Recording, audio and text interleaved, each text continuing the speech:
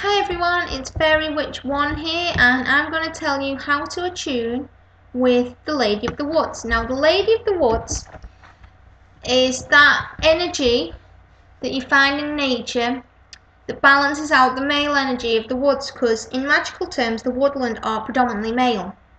Now you can either associate this um, energy and this life force as um, the great goddess or I like to think of it as Mother Nature.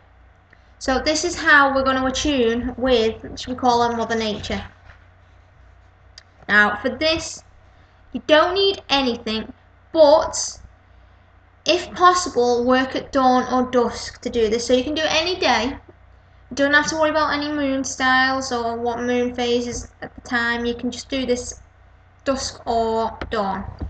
Now go out to the woodland if possible at one of the fairy hours, which is dusk and dawn, when the elemental energy is naturally heightened.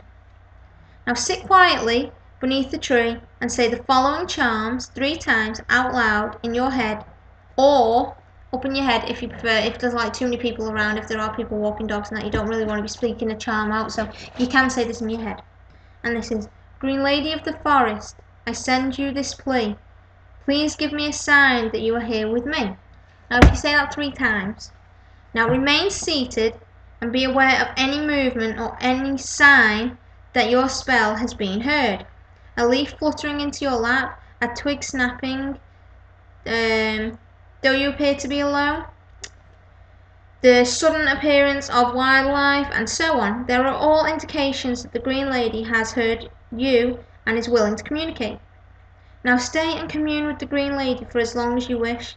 Then give silent thanks and return home, taking with you any natural gift that may have fallen into your lap or at your feet. So like if a leaf has fallen into your lap, take it home, put it on your woodland altar or your earth altar or just on your altar in general to um, show that you are giving thanks to the, the Mother Nature, the Green Lady, the Great Goddess, the Lady of the Woods. So yeah, that's basically it. That's um, me talking about the Lady of the Woods. My next video will probably be on the Green Man. Um, so, blessed be everybody.